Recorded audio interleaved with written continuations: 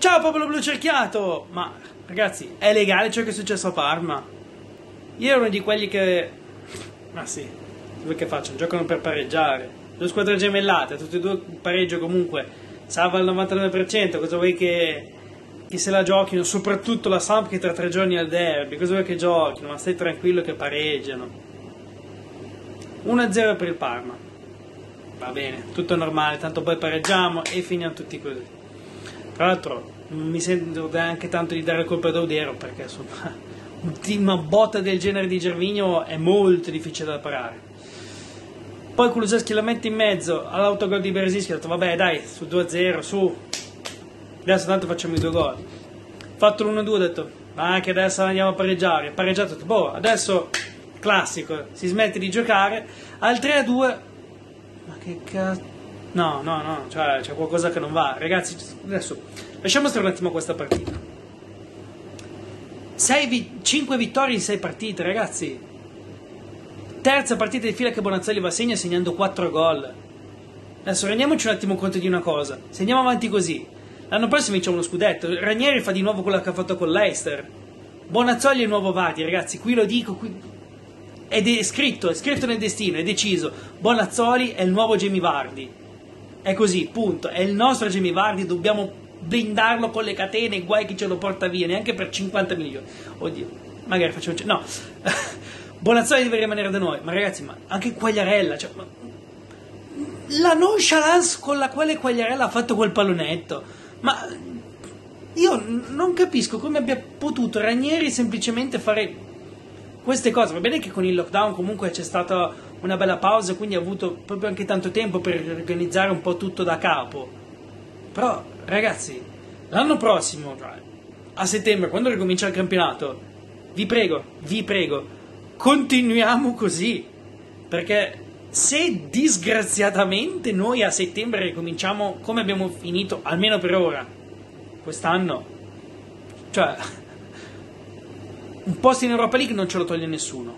Perché, dati alla mano, va bene, l'unica partita che abbiamo scazzato è stata quella contro Bologna.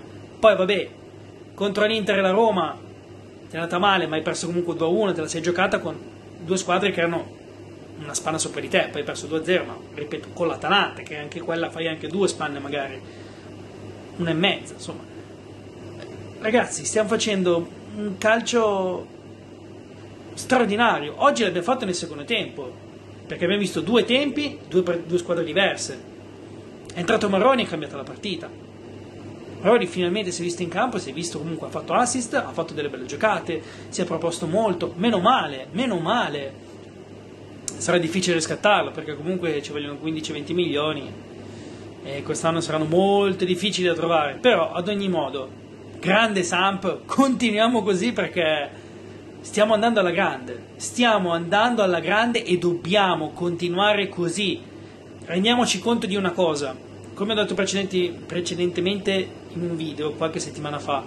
Prendiamo la rosa dell'anno scorso, togliamo qualche elemento fondamentale e vediamo quello che stiamo facendo adesso.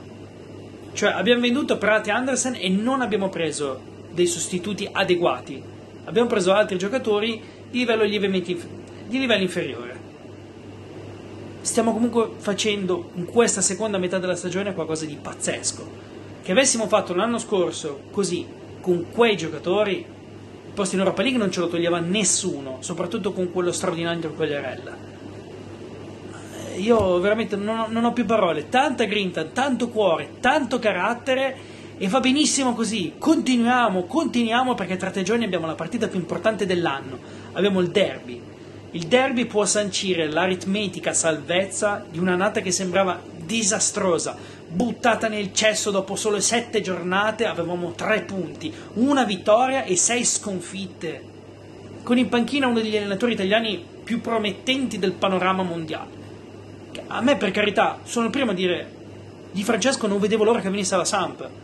Mi è dispiaciuto quando è andato via, ma Ranieri l'ho preferito su- fin da subito perché è uno di esperienza. Se c'è uno che ci può salvare è proprio Ranieri. E i risultati si vedono. I risultati si vedono.